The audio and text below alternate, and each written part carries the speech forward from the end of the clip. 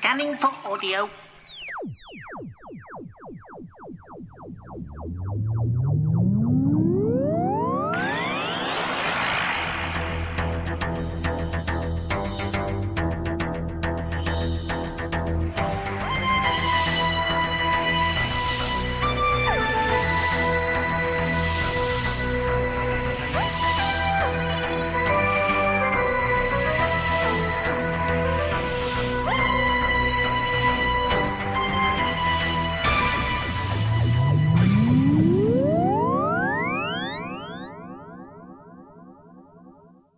Welcome to the Tin Dog Podcast, number 254.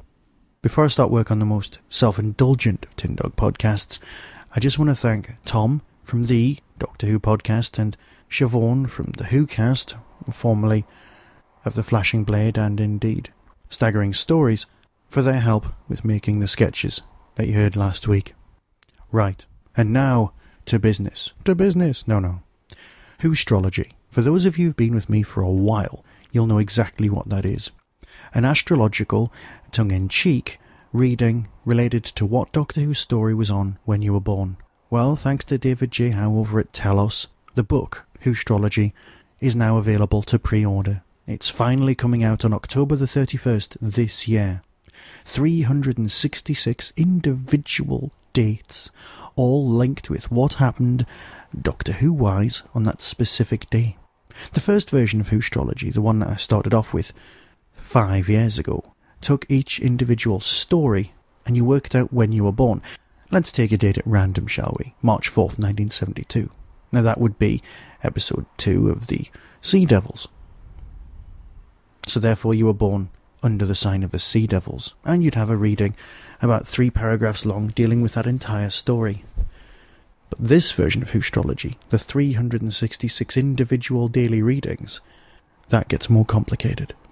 Because then you take every single episode of every story that was shown on every March the 4th over the last 50 years, thus providing you with a much, much more in depth reading. The fact that I spent two years watching and listening to every single canon episode of Doctor Who, and by canon I mean everything that was on TV, well, was hardly a hardship, was it? All I had to do was be sarcastic and funny about every single Doctor Who episode ever, put them into the right order, catalogue them, cross index them, and then put them into some sort of cohesive, coherent reading. Ah, that was child's play. Honest. No, thanks to David for all of his work and input on this one. And of course, thanks very much so for Deborah Taylor for providing illustrations for each and every page. The book itself comes in at about 388 pages long. It's 10.99 and can now be pre-ordered from both Telos directly. That would be well, type in Telos books into any search engine, and let's face it, you're a Doctor Who fan, you know how to spell Telos. Or indeed, you can take a trip over to Amazon. That's both .com and .co.uk, and type in Whostrology. It's the only thing that'll come up. Whostrology, the Time Traveller's Almanac. I've been told by people who've read it so far that it's hilarious. I'm, of course, far too close to the project, and, well, just a tiny bit biased. But for those of you who've been with me since the beginning, I just want to give you a massive thanks. Because without you, without your enthusiasm for the project, well, it just wouldn't have happened.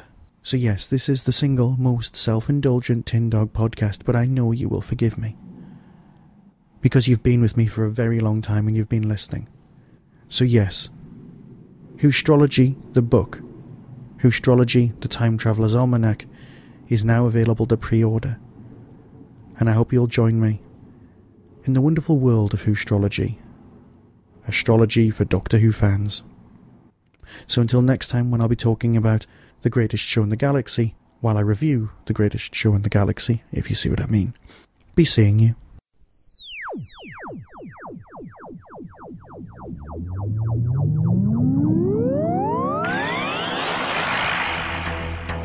You have been listening to the Tin Dog Podcast. Doctor Who and its associated shows are all trademark of the BBC. No infringement is intended. Contact us at tin-dog at hotmail.co.uk.